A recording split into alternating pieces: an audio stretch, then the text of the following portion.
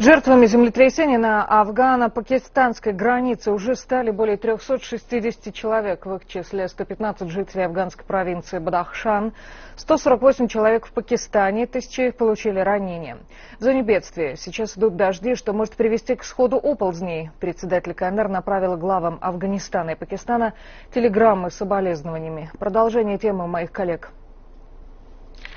Наибольший урон стихия нанесла Пакистану, а именно приграничной с Афганистаном провинции Хайбер-Пахтунхва. Там рухнули сотни домов. Армия страны направила в зону бедствия вертолеты для проведения спасательных работ.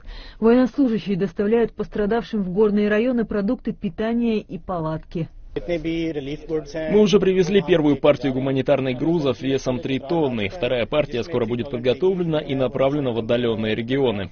Глава Кабмина Пакистана Наваз Шариф созвал экстренное заседание, на котором обсуждались меры по оказанию помощи. Затем премьер-министр лично прибыл в зону бедствия и поручил всем оперативным службам мобилизовать ресурсы на локализацию последствий землетрясения. Uh, Повреждены тысячи домов, и это только предварительная информация. На самом деле масштаб катастрофы гораздо больше. Сейчас мы собираем данные, требуется их тщательная проверка. Завтра или послезавтра ситуация, думаю, прояснится.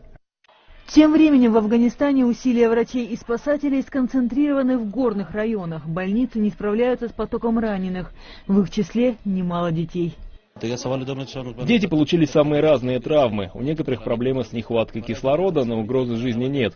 Еще нужно провести несколько проверок внутренних органов и взять анализы крови. Глава Афганистана Ашфаргани призвал местных жителей помочь спасателям в поисках пропавших. Параллельно правительство выделит 780 тысяч долларов на ликвидацию последствий стихии. Готовность оказать помощь Афганистану и Пакистану также выразили США, Россия, Индия и Китай.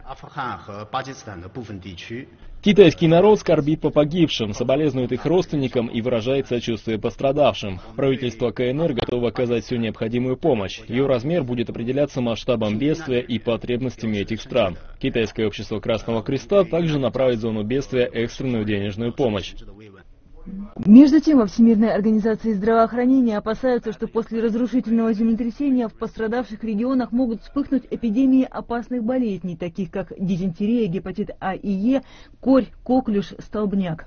Этому способствует как загрязнение воды, так и обычный посттравматический стресс, особенно в местах, которые остались отрезанными от коммуникации. ВОЗ призывает местные власти сделать все возможное, чтобы снизить риск эпидемий. Люси, ССТВ.